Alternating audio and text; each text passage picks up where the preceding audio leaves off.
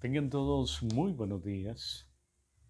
Hoy la iglesia celebra la fiesta de la solemnidad del Corpus Christi, del cuerpo y de la sangre de Cristo, sacramento de fe, mandamiento del amor, sacramento de comunión.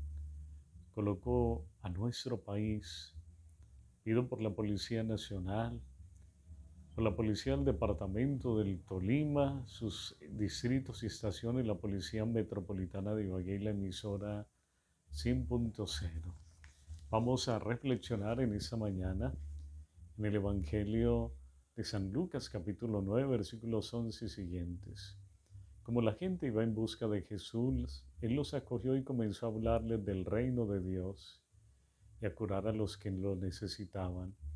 Ya empezaba a caer la tarde cuando los doce se le acercaron y le dijeron, despide la multitud para que se vayan a los pueblos y a los campos de los alrededores a pasar la noche y a buscar alimento, porque aquí estamos en un lugar despoblado.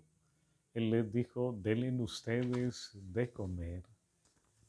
Palabra del Señor. Muy queridos hermanos, donde hay solidaridad, hay fraternidad.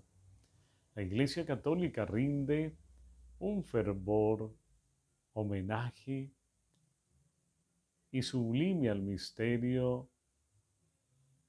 del sacramento del cuerpo y de la sangre de Cristo, la Eucaristía. Y ella tiene unos efectos maravillosos en la vida. que hace en la vida de un hombre, de un cristiano? Primero acrecienta nuestra unión con Cristo y la Iglesia, nos da el perdón de los pecados veniales, conserva la vida de la gracia en quien la recibe, trae paz espiritual, acrecienta el fervor de la caridad a Dios y al prójimo y nos da la vida eterna. Por eso que ojalá ese sacramento del cuerpo y de la sangre de Cristo sea para nosotros una bendición de amor en cada uno de nosotros. Y la bendición de Dios Todopoderoso, Padre, Hijo y Espíritu Santo, descienda sobre todos ustedes y permanezca para siempre. Amén. Amén. Un buen día para todos. Dios los bendiga y los acompañe.